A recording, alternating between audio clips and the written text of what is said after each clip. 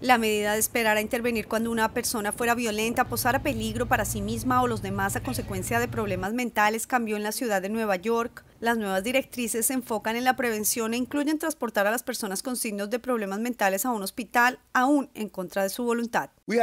Emitimos una nueva directiva para nuestros equipos móviles de crisis del Departamento de Salud y Salud Mental, Departamento de Bomberos, paramédicos y la policía. Esta directiva establece un proceso elaborado para transportar involuntariamente a una persona que experimenta una crisis de salud mental a un hospital. Y aunque al menos seis organizaciones como Legal Aid Society apoyan la necesidad de proveer ayuda, no están de acuerdo con que la policía esté a cargo de lidiar con el problema. Ya hemos visto en, en, otros instantes donde la policía son los que están eh, respondiendo a situaciones donde hay, unas hay personas con crisis de salud mental y que muchas veces lo que ha pasado es que las personas, eh, la policía las ha matado. La crisis de salud mental se ha hecho evidente en las calles de Nueva York y una gran mayoría de personas han sido testigos de individuos con señales de problemas mentales, dando gritos, haciéndose daño o atacando a otros, según reportes policiales. Sí, muchas personas.